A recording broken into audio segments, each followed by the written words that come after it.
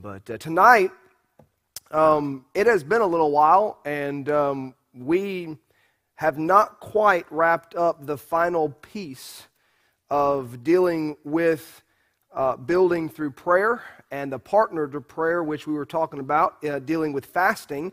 And uh, there is one last little section that we need to wrap up, and tonight I want to do that. And, uh, and since um, the preacher this morning went a little um, in excess because it had been a while since he preached, um, I'm going to make sure the preacher tonight um, stays within a better time frame.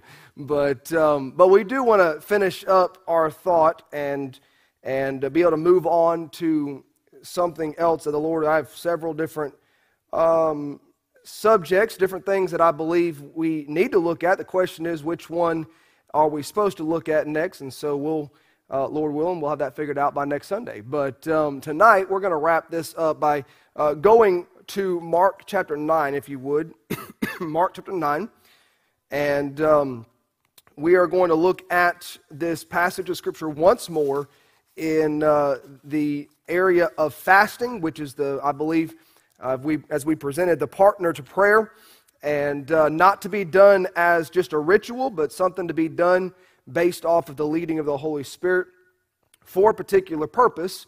And, uh, and we're going to look uh, this evening at more of the, um, to a degree, more of the, uh, the elements of fasting and, uh, and, and, just something to keep in mind as we look at this all important um, process of adding to our prayer time a, a fasting area that, uh, that the Lord might lead in, in individuals' lives to do so uh, for different reasons.